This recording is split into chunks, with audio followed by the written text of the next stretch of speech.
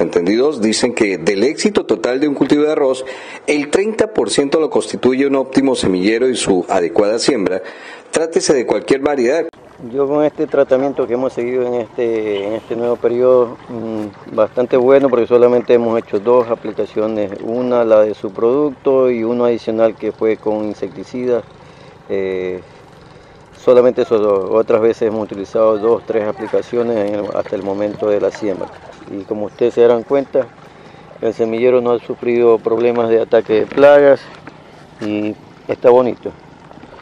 Inclusive la gente que ha venido a, sacar la mancha ha encontrado el cultivo bastante sano y no ha tenido problemas para arrancar, porque no sabe, muchas veces se queda pegada la raíz y van a lo que van arrancando van eh, se les va quedando una parte de la planta.